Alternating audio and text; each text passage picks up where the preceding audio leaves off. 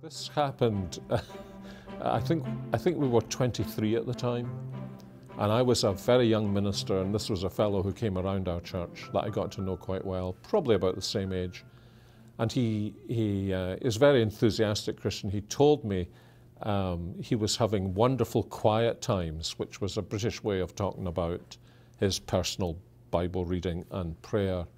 And I had, I think I had begun to notice something um, in the way people read the Bible.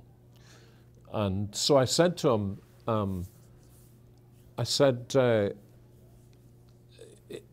tell me if um, he was he was reading Ephesians. It was particularly Ephesians, and I said, well, tell me if I had given you a, a notebook at the beginning of the month when you started reading Ephesians, and you had you had written down what you were learning. He was very excited about what he was learning, uh, and I think he may have been journaling.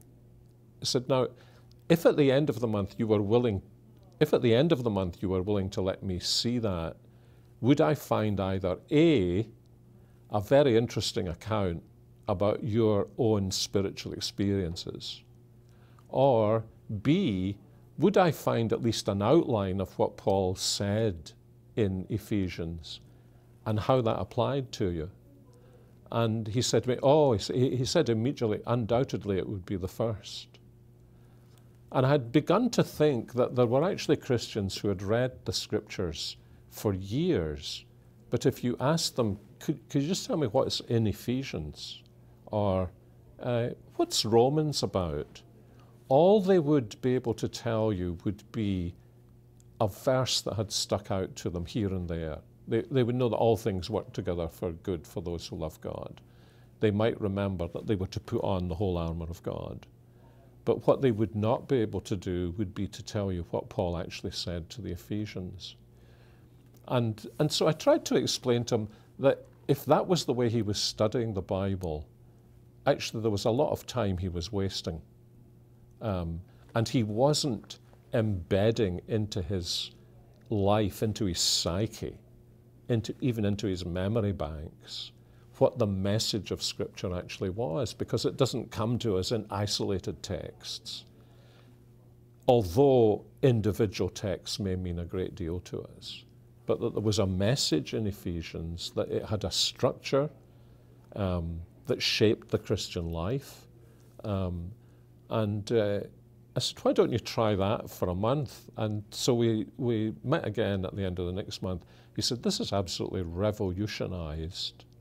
I think he said, this has revolutionized my Christian life. And I was wise enough to know that, you know, that probably had not happened in a month.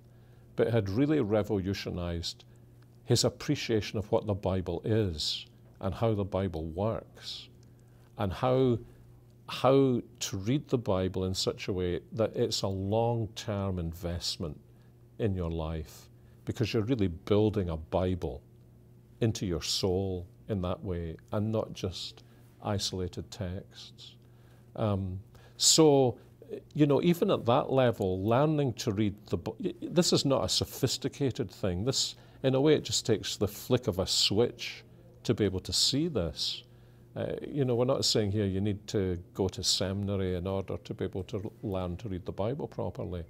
Uh, we're just saying you, first of all, you listen to what it's saying and then you apply that to your life.